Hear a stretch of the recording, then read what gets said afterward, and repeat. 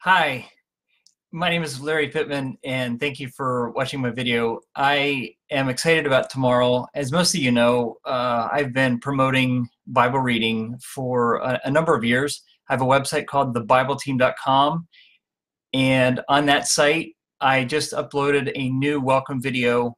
And every year, I do what I can to promote daily Bible reading.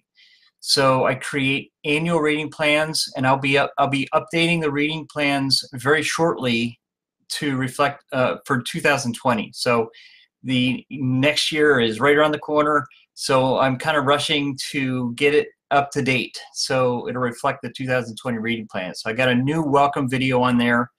And guys, if you want to share this with whoever to uh, encourage them to get into the Word and read along with them. Find someone to uh, read the Bible with you, whether it's a chapter a day or whatever you know you two agree on.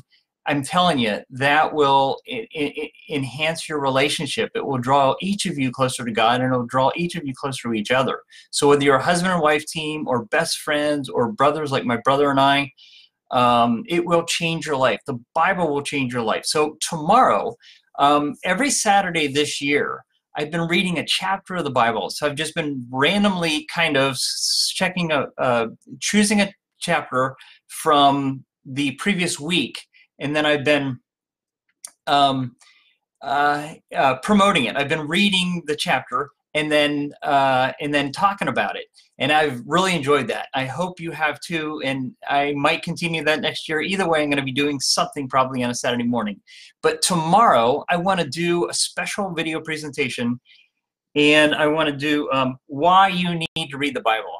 And so it's going to address why I think every person on the planet needs to read the Bible because God is creator of all things and everybody, and his mission is to reconcile everybody with him. So it takes a little bit of belief, a little bit of faith that what he wrote is good, is true, and reliable. And so I want to hammer that home tomorrow because the God, the same God we're talking about had had a tremendous impact on my life.